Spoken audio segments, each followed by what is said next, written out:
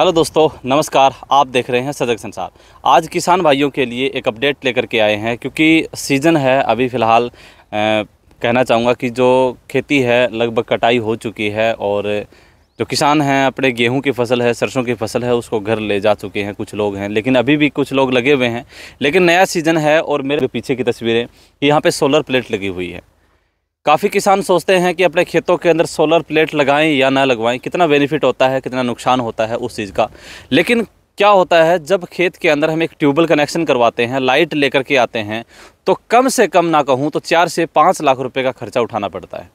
लेकिन solar plate से क्या है कि मात्र एक लाख चौदह हज़ार रुपये सब्सिडी इसके अंदर इंक्लूड कर दी जाती है। हरियाणा का एग्रीकल्चर डिपार्टमेंट जो है, वो खेतों के अंदर किसानों के पास में कहना चाहूँगा कि ज़्यादा से ज़्यादा उनको प्रमोट करने के लिए जो भी खेतों से संबंधित चीज़ें होती हैं, चाहे ट्रैक्टर की बात करूँ या फिर ट्रैक्टर के साथ मशीनों की बात करूँ तो उनके ऊपर सब्सिडी मुहैया करा करके हर किसान को एक मौका देती है कि आप लोग अपने खेती के अंदर अच्छा कर सकते हैं। मेरे पीछे आप तस्वीर के अंदर देख रहे हैं, सोलर पैनल लगा हुआ है दस किलो वाट का ये पैनल लगा हुआ है। यहाँ पे लगभग अगर काउंट करें तो पाँच, दस प्लेट यहाँ पे लगी हुई हैं, दस प्लेट इधर लगी हुई हैं। और आठ प्लेट यहाँ पे लगी हुई हैं। यानी कि टोटल जो हैं वो 28 प्लेट यहाँ पे लगी हुई हैं। 300 कुछ की यहाँ पे प्लेट रहेगी एक वाट की। तो लगभग 10 किलो वाट का एक सोलर जो प्लेट है वो यहाँ पे लगाया गया है। और एम आई काडा एक जो स्कीम है गवर्नमेंट की, जो समय समय के ऊपर ऑनलाइन पंजीकरण होता है, किसान जो है वो डायरेक्ट पंजीकरण करवा के इस चीज़ का फ़ायदा उठा सकता है। और सबसे बड़ी बात बेनिफिट की यहाँ पे क्या होती है कि आपको यहाँ पे लाइट की ज़रूरत नहीं होती है।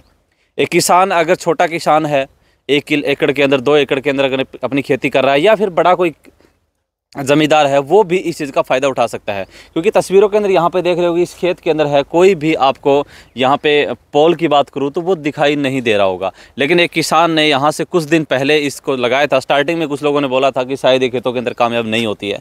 लेकिन एक किसान ने अभी बातचीत करेंगे हम उनसे। उन्होंने बताया है कि पिछले मैं दो से तीन सीज़न इस चीज़ से निकाल चुका हूँ और बढ़िया बेनिफिट यहाँ से होता है। और उनसे बातचीत करेंगे और यहाँ पे एक चीज़ और दिखाना चाहूँगा कि साथ में इनके क्या मिलता है।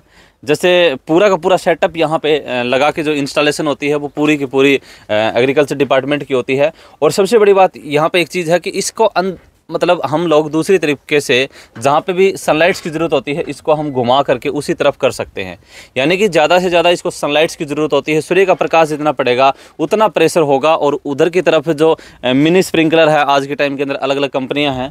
मैं किसी कंपनी का स्पेशल का नाम नहीं लूँगा, लेकिन अलग अलग कंपनियाँ हैं जो सब्सिडी के तहत मिनी स्प्रिंकलर भी खेतों के अंदर लगाती हैं, जिसे ड्रिप फुआना सिस्टम है, पानी का भी बचाव होता है, क्योंकि आज पूरे हरियाणा के अंदर, लगभग खास बात करूँ तो दक्षिण हरियाणा के अंदर पानी की बहुत सारी कमियाँ होती जा रही हैं। कई जगह पे ऐसे हैं कि जहाँ पे 400 फुट 500 फुट जाने के बाद भी पानी जो है वो नज़र नहीं आता है। लेकिन किसान करे तो करे क्या? नहरें हैं, कुछ समय तक नहरें भी सूखी पड़ जाती थी, लेकिन आज के समय के अंदर नहरों में भी पानी आना स्टार्ट हो गया है। लेकिन वो किसान क्या करे, जिसके खेत के नज़दीक जो है वो नहर ना हो।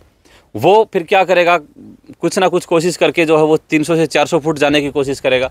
फिर कहीं ना कहीं लाइट की सुविधा नहीं होगी, लेकिन ये सोलर पैनल जो लगवाता है तो उसको बेनिफिट हो जाता है। डायरेक्टली यानी कि लाखों रुपए का फ़ायदा होता है। कोई टंकी अपने खेत के अंदर लगवाता है। फिर क्या होता है? इस सीज़न के अंदर गर्मी का मौसम होता है। पीछे वीडियो में अब आपने देखा होगा, बहुत सारे किसान होते हैं, इस समय के ऊपर फ़सल बर्बाद हो जाती है। क्योंकि लाइट क्या होती है कि एक परसेंट में अगर लाइट आ जाती है तो उसमें दिक्कतें कहाँ हो जाती है कि एक चिंगारी जो है वो उस किसान के पूरी छः महीनों की जो मेहनत होती है, उसके ऊपर पानी फेर जाती है। एक सेकंड का काम होता है, पिछली वीडियो में आपने देखा था कि किसान किस तरीके से रो रहा था। मतलब पानी फिर गया था उसकी पूरी खेती के ऊपर। एक किसान जी हैं, उनसे भी बातचीत करते हैं कि कब लगवाया था और किस तरीके से उन्होंने इस चीज़ का फ़ायदा उठाया। तो आइयो एक बार उनसे बातचीत करते हैं। और यहाँ पे कंट्रोलर है पूरा।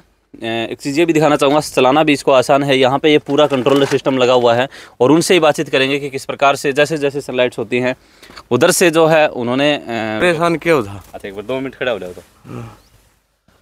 यो सोलर पैनल देखियो आपका तो इसके क्या सीज़न निकाल दिया आपने इसको? ये 2022 में लगवाया था। 2022 में लगवाया था। हाँ। तो स्टार्टिंग में मतलब जितना सोचो थो उतना फ़ायदा मिले उस चीज़ ने? शुरुआत में तो नहीं मिले इतना पता नहीं था। अच्छा अच्छा। और अब की बार पता था जिद। कितने रुपया को सेट लगवाया था आपने? ये लगवाया था एक लाख चौदह हज़ार रुपया भरा था। एक लाख चौदह हज़ार रुपया भरा था। हम्म। तो उसमें सब्सिडी सरकार ने देखे आपका एक लाख चौदह हज़ार रुपया लगा था। हाँ। तो उतना अगर आप कनेक्शन करवाओ अपने खेत में तो उस तक कितना ज़्यादा बेनिफिट है वो? इसका बिल नहीं लगा उसने तो बहुत कम बेनिफिट से उससे बहुत फ़ायदा है। मतलब उसमें लगवावा तो कितना रुपया उसमें तो पाँच लाख में कम से कम चालू है वो। पाँच लाख में चालू हो हाँ। और फिर बिल आना फिर। बिल आनू बाकी रही है और इसको कोई बिल वाल को नहीं इसको कोई बिल नहीं है। अपने सूरज हाँ। तो चाल पड़ेंगे। सूरज निकालो और चलाओ। तो सर्दियाँ में इसको के मतलब रहे? सर्दियाँ में चल रहे हैं कि ना चल सर्दियाँ में बढ़िया चल रहे हैं। आजकल मतलब ज़्यादा भाव हो जाए है। गर्मी जी या कम चलेगी। अच्छा ज़्यादा गर्मी हो तो। हाँ। कोई किसान सोचा कि जड़ो तावड़ो होगो जी ज़्यादा चलेंगी। ना मतलब यह तो किरण तो चल रहा है। अच्छा। साफ़ किरण तो सर- सर्दियाँ में दिखेगी तो ज़्यादा चलेंगी। ज़्यादा चलेंगे। आजकल कम चल तो रही क्या नौ से चलाओ आप इस दस। दस। तो ये जो अपना मेन फुहारा सेट है ये चलाओ हो कि मिनी स्प्रिंग वाला भी चलाओ हाँ वह भी चलाओ वह तीस चल रहे वह तीस साल जाए। हाँ। तो ज़्यादा फ़ायदा उनमें है? उनमें। जो पूरे खेत में भेज देंगे हाँ। तीन दिन बदलने की ज़रूरत कौन पड़ा? बदलने की ज़रूरत कौन पड़ा उनमें। तो देखो भाई ये चीज़ अंकल जी ने आपको बताया बातों ही बातों के अंदर कि दो साल लगभग दो हज़ार बाईस के अंदर इन्होंने लगवाया था दो सीज़न निकाल चुके हैं आप हाँ दूसरा सीज़न सबसे बड़ी बात ये होती है कि किसानों के भाई एक चीज़ अंकल जी ये भी होती है कि अगर लाइट लूट आप लगवा भी लिया हाँ हम्म। इस सीज़न है कोई चिंगारी है फ़सल में पड़ जाओ नुकसान उसको भी हो हाँ बिजली को तो नुकसान है। तो इस टाइम बस चिंगारी चुंगरी को इसमें तो कुछ भी चिंगारी नहीं फटता इसमें तो कोई मतलब नहीं करंट का कोई भय नहीं। कोई भय को नहीं। किसी चीज़ को भय को नहीं। और आराम से चला भी इसको इसने कोई भी चला ले हंटिंग कोई भी चला लो चाहे इसने। एक कर बताया पास है कोई भी चला लो बटन कोई काम है बटन दबाना बटन कोई काम है। हाँ। चलना तो फिर वो सूरज आप पे चला दो हाँ बटन दबाओ सूरज निकल दी और चल पड़ेगा। तो देखो भाई एक लाख चौदह हज़ार रुपये और बोरिंग करवाने का भी अलग लगा था क्या?